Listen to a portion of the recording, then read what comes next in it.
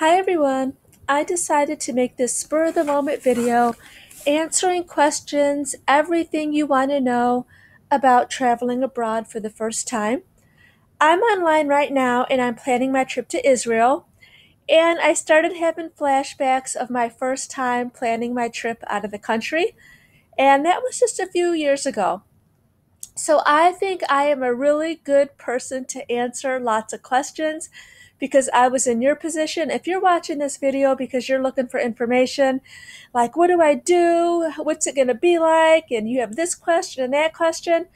All these questions are still fresh in my mind, and now I have the answers. So not only will I answer your questions, I'll tell you some of my experiences also. So, there's a lot of things that you have to do when you're planning a trip out of the country for the first time. First, I want to say I hope you're excited and not nervous. Do not be nervous. If you are planning a trip out of the country for the first time, you are so fortunate. This is such an opportunity. This is a great adventure. That's how I thought of it. I was too excited to be nervous. No way. I was going to enjoy every last minute.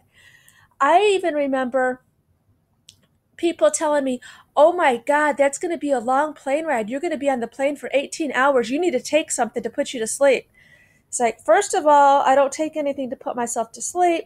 Second of all, I want to experience everything. I, you're not going to believe this. I didn't sleep on the plane. I was on the plane for 18 hours. Both trips, I was up a total of 24 hours. I was too hyped to sleep. I was too excited. There was a few times I did try to sleep on the plane, um, on the long flight, the 14 hour flight, because I took three planes to Japan, three planes back, and one of the planes was a long 14 hour ride. And I did try to sleep. I just couldn't. I relaxed. I enjoyed myself, but I just couldn't sleep. Okay, first of all, I don't even know where I am. I'm all over the place. But don't be nervous. Be excited that you're traveling out of the country. It's an amazing opportunity. First things first, if you haven't obtained your passport yet, for those of you who do not have a passport, you obtain a passport at the post office. So a lot of people think that you apply for your passport at like the DMV or what we call here in Michigan the Secretary of State, but you actually apply at the post office. It's about $150 you need to call the post office because there's certain hours that they do that. Um, you can get all the information on the post office website, easy as can be. I I believe it cost $150 and I think I got it 4 weeks later. Give yourself 6 to 8 weeks. Don't push it. So, don't make it tight. But let's see, what is the next thing? Okay. This is why I'm on the kayak website. So both times that I went to Japan, I searched for two months. I did not buy my ticket until I searched for two months for the best flights, the best flight prices, and the best hotel prices. And you can do that all here on Kayak. So after searching for two months straight on every single website you can imagine, I came back to Kayak again and again. So the prices vary drastically day by day. That's why it took me two months because every time I would get online, like I would search prices like one day, then I would get online and search again the next day. The prices would tra- change drastically. So I was afraid that if I bought the ticket, it was going to be drastically cheaper the next day. And also, when you're planning your trip, like I'm just playing around with the dates right now, but I'm thinking April. So even if I change the date by one day and go April 5th instead of April 4th, the price will change drastically. So, what do you think a round trip ticket to Israel would cost? I'm in Michigan. Let's see.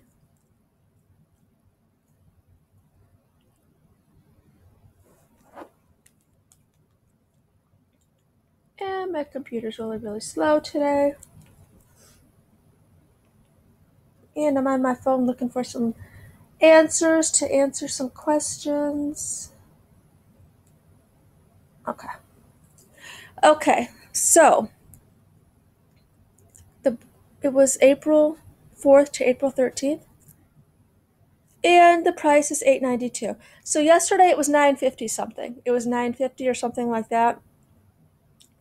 So this is typical of what I've been seeing. So let's just change it so you can see what I mean. Change the date up here. They changed the website since last year, so it's different. I was a pro on this website. Now I can't even navigate through it. Okay, um, let's say I want to go March 14th and I want to return the 24th because I typically always stay like 10 days to two weeks. What was that price before? Eight something?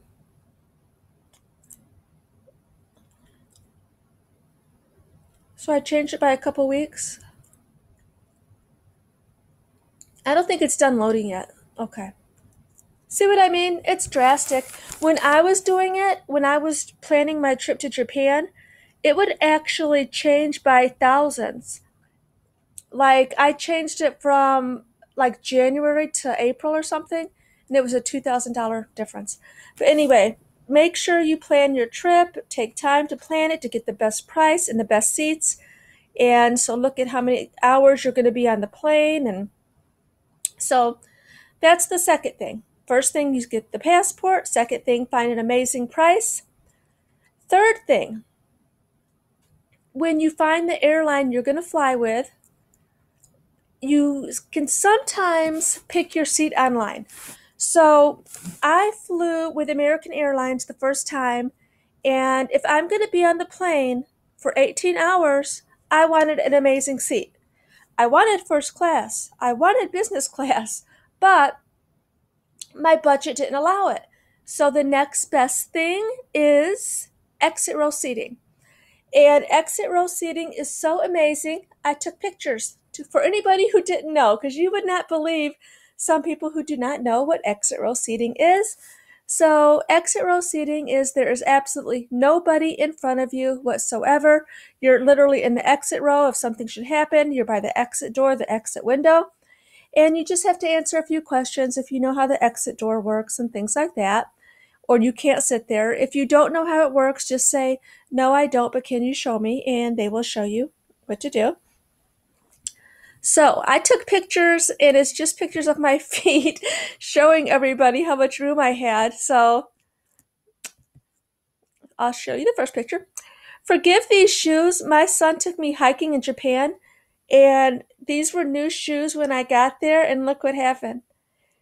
And if he's watching this video, he's going to remember that day because I had a heart attack.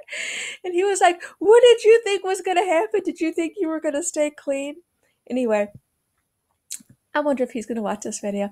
So this is exit row. Do you see how there's nobody in front of me? Here's a guy right there in his slippers, being all comfortable. Here's the bathroom right here. So if I have to go to the bathroom 22 times, I'm not bothering anybody.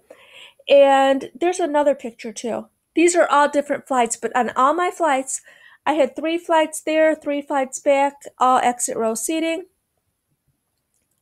American Airlines will give you free um, will give you the seat at no extra charge. Some other airlines charge you, like um, Canada Air charged me $115. And here is me. This is my coat in my lap. And right here, I'm in the exit row area. And there's three seats right here. There's me by the window. There's a middle seat. Nobody's sitting there. And then there's some guy, some nice guy sat next to me right there. And there's the bathroom right where that guy's walking. And do you see this area right here? This is where the flight attendant goes and she starts preparing like the meals and like she puts trays and there's food and there's snacks and there's drinks there. So all of us periodically, not all of us, a few of us periodically would get up right here and stand and chit chat to stretch our legs and we can get juice and snacks and stuff like that. So it was pretty comfortable for us to be an exit row seat, then everybody standing here and, and talking, just, you know, to pass the time of the flight. And here's me at another flight, exit row seat. Do you see there's nobody in front of me? There's the bathroom right there. There's the middle area where everybody stands to talk. And behind this wall right here is a bunch of juice and pop and snacks. It is for anybody. Oh, basically, I forgot to mention American Airlines. I actually love that airline. They give you so much food and so many drinks. There's no way that you could possibly even eat it all. So they give you like, you know, free wine, free champagne if you drink, um, all kinds of free meals and free snacks. Even their snacks are meals. So it's just weird. So they would keep coming by again and again. And I'd be like, no, thank you, no, thank you. The reason why I remember that specifically, because when I flew on Canada Air, they starved me to death. Nothing. The food was literally not edible. There was numerous reasons why I cannot stand that airline. I'm not even going to go there, but anyway, back to planning a nice trip. So um, you can get the exit row seat. If, if, if you can't afford business class or first class, pay the extra $115 if it's not free for exit row. So that is what I recommend. And let's see what else I can tell you. Once you pick your flight, once you pick your flight, um, go to the go to the airline's website and you can actually get all their information like how much your bags weigh should weigh and all the information on what you could do you could print out your itinerary um, what else can you do you need to call your credit card companies and your bank and let them know that you're traveling abroad so your credit cards work. And you need to exchange your money. You can exchange your money at the bank. Okay this is very important. Before you go on a trip to a foreign country, give yourself about two weeks prior and call your bank. Tell them, I need so and so much money and I'm leaving for Japan, so and so, like you need yen or whatever. And you can exchange your money at the bank and they will give you cash and you can do it right there. Because if you do it in the airport, it's going to cost you a lot. It's going to cost you, there's fees and everything. It's ridiculous. And I didn't give myself enough time, either time to um, exchange my money at bank. So, what did we go over so far? Passport, cheap tickets, your seat is very, very important. Call your bank, call your credit card companies. Make sure you have cash when you're in the when you're in another country because you know how we are in the United States only plastic. I, I not see cash for literally months at a time. I don't use cash at all ever. If I buy a pack of gum it's with my card. If I buy gas it's with my card. In Japan they only use cash. In a lot of the countries they only use cash. You can use a credit card. I did use a credit card over there but you won't believe this. A lot of them don't know how to actually work it or work the credit card machine or how to enter it or something because it's not common there like it is here. So you would think Japan being more advanced than we are would be, you know, using plastic, but they don't, just cash. So I had lots of cash. And I think, okay, what other questions did I have? Let me tell you my experiences. I was worried about getting lost in the airport. Did I get lost in the airport? Yep, I did. Okay, Detroit Metro Airport is what I fly out of. It is nothing. It looks like a tiny candy store compared to the airports in Japan. Let's talk about Narita Airport in Japan. It's so big, get from terminal to terminal, you have to take a 10 minute bus ride. So the first time I didn't know about the bus ride and I was walking back and forth getting late, almost missing my plane, asking so many people because in Japan they can't speak enough English to help you. So I would ask, you know, and I would point to my ticket. You have to learn some ba- oh, I'm going to be all over the place. You have to learn some basic native language. It's a must. It at least shows them that you're trying. Like learn how to say excuse me. That is the number one word I would say try to learn. In Japan, um, they understand English, but not that much. So, anyway, I was asking people, you know, where do I go? I was showing them my ticket. Finally, I asked three people, and the fourth person I asked, he was a Japanese police officer, and he told me to go back the other way that I just came from. And I was like, Can you just take me? Because I wasn't sure what they were saying, if I was even following directions. And he kind of laughed and he walked me 15 minutes to my destination. So that was really good. So learn some basic language, like in Japanese, just excuse me, is sumimasen. So, you know, a lot of times when I didn't know anything, when I needed directions, when I needed something in the store, I would first politely say, sumimasen, and then I would pull up the picture on my phone and point to it. Then they would be able to help me. Like, um, I went hiking and I lost my sunglasses. So I sat down and I rested and I got back up and I forgot to put my sunglasses on. So the next day I had to go to the store and get some sunglasses and I couldn't find them. So I was back and forth throughout the store. So I pulled up a pair of sunglasses on my phone with a picture.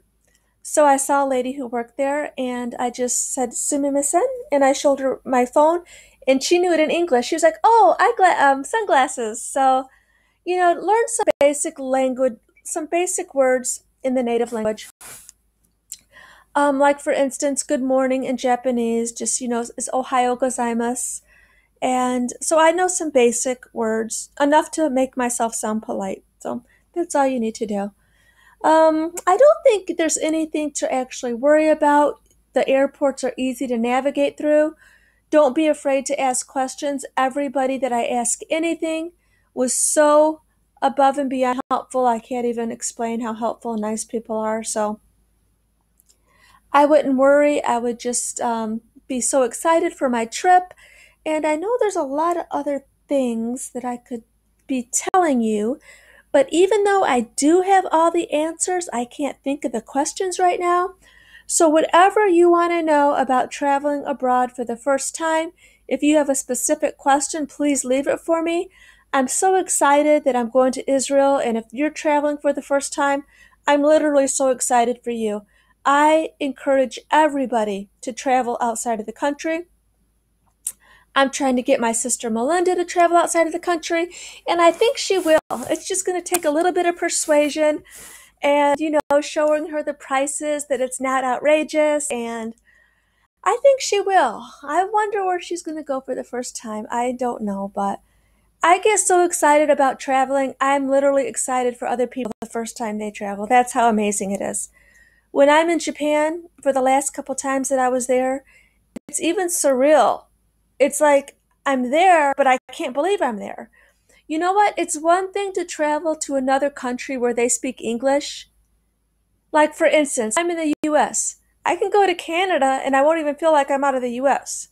When you go to a country literally across the world that does not speak English, you're in a surreal moment. You're in a surreal I can't even describe it. It's just like literally, am I really here? Is this a dream? But it's so amazing. I have so many pictures. I post random videos. If you look through all my videos, there's going to be videos of Japan and videos of me going to Monkey Mountain where I went to this one place and there's literally 700 monkeys all around us and it's just a different world and I'm just so excited and this video is mainly about me being excited to go to Israel. I'm not sure how much I helped anybody, but if you have any questions at all, please leave me a comment. If you're new to my channel, please subscribe. I really appreciate all my subscribers. And thank you so much for watching. Bye.